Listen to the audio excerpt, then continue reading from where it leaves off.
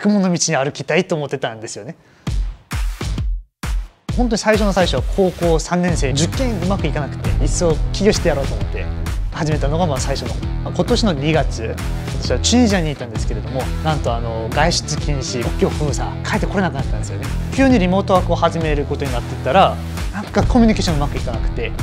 やっぱりコロナになってみんな急激に全部リモートになってしまったんですよね。コミュニケーション不足を一番の課題として挙げてるんですよね。物理的な空間と同じようなコミュニケーションツールが欲しいってことで開発を始めました。受験失敗したのが衝撃すぎてちょっとあのぶっ飛びましたね。